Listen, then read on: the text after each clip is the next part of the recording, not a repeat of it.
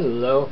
Um, a lot of people have been asking me how to approach um, some of these extra credit questions that um, are given to us in the activity packets. And uh, what I'm going to do is I'm not going to solve them.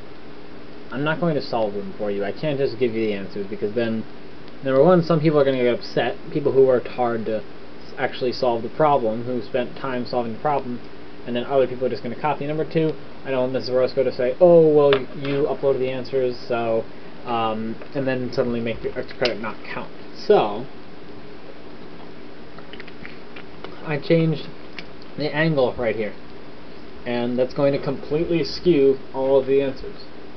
It's also interesting because any of the people who come here just looking for answers will skip past this area and they will probably go straight to the answer area or toward the end of the video so they won't actually know that this is going to be a completely wrong answer. The angle in the actual problem is 40 but here I'm doing 50. Okay, so what's the problem that we're going to try to solve here? Well, we've got the weight of B, this block B, 32 newtons, and we've got this weight of block A, 102 newtons. Um, and they're connected by some kind of cable, right? And the cable is running over this pulley. And we're assuming that the no, no force is lost because of the pulley, which isn't necessarily true, but that's what we're going to assume because we just haven't been taught anything about pulleys yet. Um, so that means that this 32 newtons right here also goes along this line right here. The same uh, 32 newtons. Okay? So these are the same. This and this. If figure if the 32 newton block is pulling down on this cable right here, it's going to be pulling this around, it's going to be pulling up on, or basically along the uh, ramp on this end of the cable, right? Um, and we, what the question asks is, how, what is the acceleration if the block is at rest? What's the acceleration if the block is moving? And what's the acceleration if the block is moving, or what's the acceleration if the block is moving up the ramp? And what's the acceleration if the block is moving down the ramp? Um, I'm not going to do all of those because they're very, very similar work, but the key thing is just figuring out where the forces are pointing. Um, I'm going to do the acceleration if it's pointing down the ramp. Um, and uh, the only difference is which way basically friction is pointing. Because because uh, kind of one of the pieces of the puzzle towards solving this is just note that if it start if it's going if it's at rest then you're paying attention to the the what? The coefficient of kinetic or static? That'd be static friction right? Because it's just sitting there. If it's moving you're looking at the co the coefficient of kinetic friction and the thing is if it's moving down this way remember down this way remember um, friction always opposes the motion, so that means that the friction is acting upwards, along up the ramp. Whereas the block is moving up the ramp, well then friction is acting down the ramp. So it's um, I'm only going to solve kind of like one small piece of this problem. Okay, so how do we even begin to approach this problem? Well, we can say that, okay, so we have some sort of force of grav of the gravity here, or force of A in the x and y directions, right? Um, we know that this bit right here, that's the same 50 degrees, right? Hopefully we're getting used to seeing that by now. Um, and then we can solve real quick. Let's just solve for what each of these vertical and horizontal pieces are. So you can say that FA in this x direction, right? FAX is equal to, well, turn your head way to the side, and you'll see that if this is the x-axis right here, if this is kind of like the horizontal, then this right here is the vertical, and the height we know is sine. You could also look at it as opposite over hypotenuse. So it's the sine of 50, but it's not just the sine of 50, because remember, sine goes from negative 1 to 1. It's the sine of 50 times the full force. So it's basically the portion of the force in that direction times the overall force.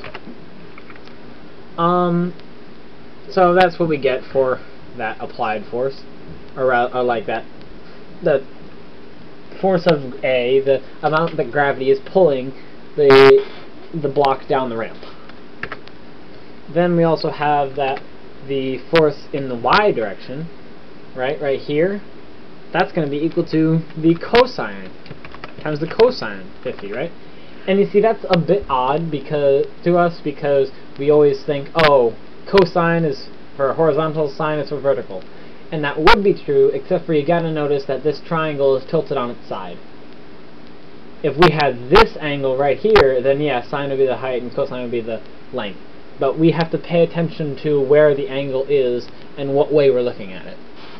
So uh, hopefully that makes it's just like if you turn this triangle so that way this was the bottom well then the sine of this would be it, it would still be this side so I mean it's just potential source of confusion don't let it get to you I hope you I hope it uh, doesn't confuse you too much and we also know that this portion in the uh, in the y direction is going to be equal to the normal force right because that's just what that normal force is because there's going to be an equal force pushing away from this uh, surface to make sure that the block doesn't go through the ramp.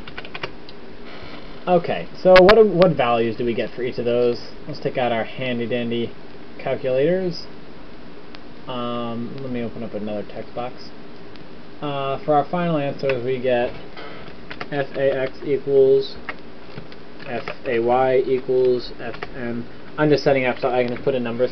FAX equals 102 sine 50. So we got 50, take the sine of that, times 102 equals 78.1. So 78.1. And then here, this the uh, this vertical part, or also the normal force, equals to 102 cosine 50. So we're going to go 50, take the cosine of that, times 102 equals. I definitely didn't do that right. I think I hit the equals button twice, which which means that it multiplied it times 102 twice. So let's do that again. 50 times co uh, take the cosine times 102 equals. There we go. 65.5 60, about 65.6. We'll round that. 65.6. 65.6.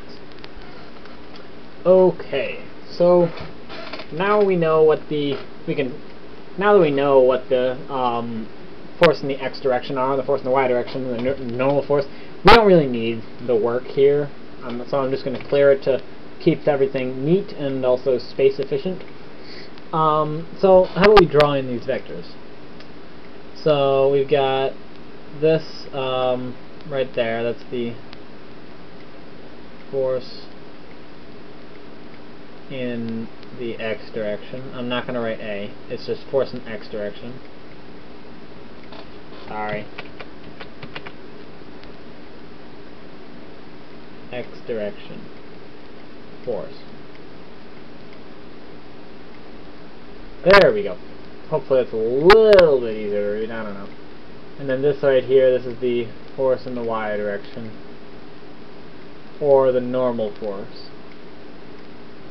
which we have all of this going on right here.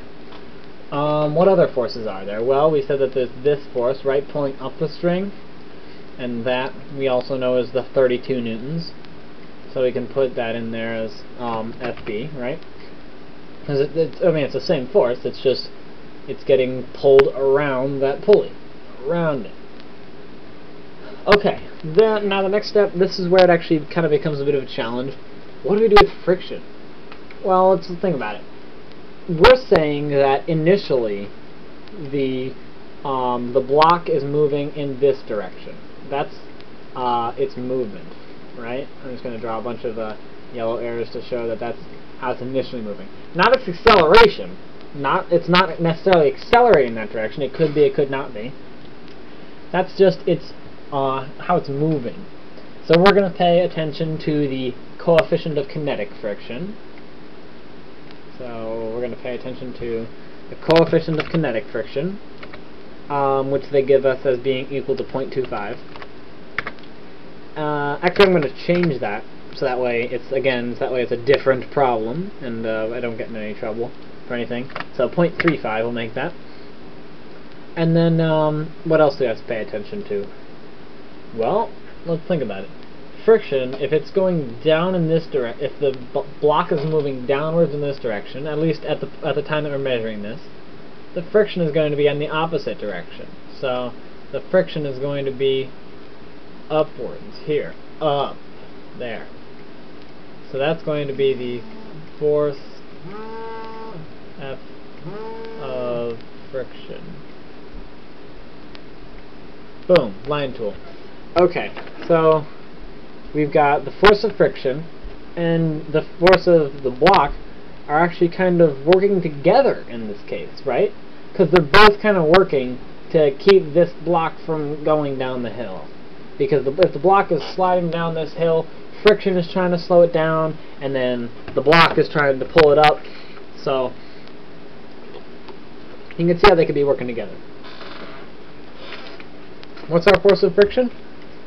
Well, this is actually uh, one of the more straightforward things, one of the easier parts of um, the what's it called of like this whole chapter is you just got the force of friction is equal to the um, the constant times the um, the normal force, so fun, or the, the normal force.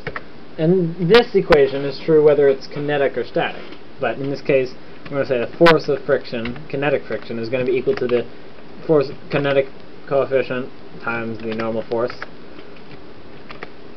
We know that the um, force the coefficient of friction here that we need is 0.35 times well, what we figured out, out, our normal force was, well, that's just the 65.6 that we calculated here using our uh, our little uh, cosine.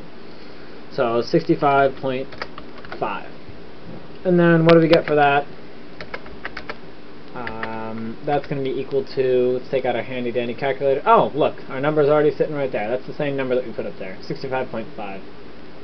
Or, or 65.6. Whoops. 65.6. Uh, so then there's that times 0.35. Here, actually, let me just show you. 65.6 times 0.35 equals 22.96. So we'll say uh, 23.0. Or round, uh, yeah, round it, 23.0. Okay, so that's the force of friction. So now, what are we left with? Okay, well, let's kind of write out what, what everything's doing first let's write out the, uh, the different forces. You've got the force of the block, right? That's this right here. You've got the force of friction. You've got, and then you've got the um, the force that gravity is using to pull down the block along the ramp, to pull the block down the ramp, and that's Fx. Um, so these are the forces that we have and just by looking at what we know, see if you can figure out maybe what, what we're going to do with each of these. We're going to kind of say, okay, this force is going in this direction. I'll use the line tool. This force is going in this direction. This force is going in this direction.